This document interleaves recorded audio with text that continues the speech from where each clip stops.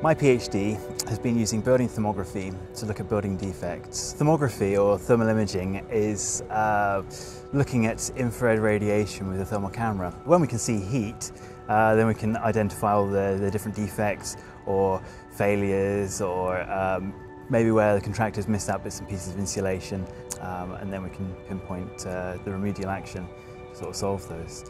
As an architect, um, I was very aware of uh, building defects um, through practice, but as soon as you start looking at them with the thermal camera, you get a real good grasp of, the, of how important building defects can be on the thermal uh, efficiency of a, of a, building.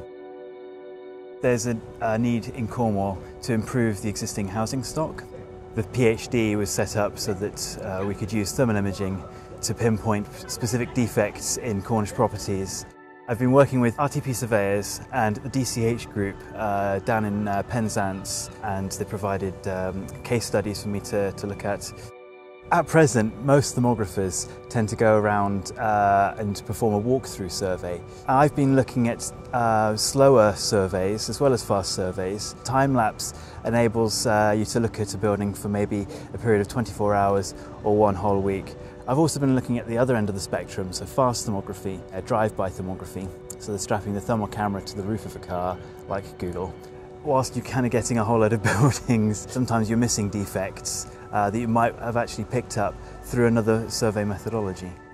The PhD has been a really useful step in, towards uh, setting up my own business and also pursuing further research in the field of thermography. Hopefully other thermographers might be able to use um, the, the knowledge that I've gained through my PhD to better tailor a thermography survey.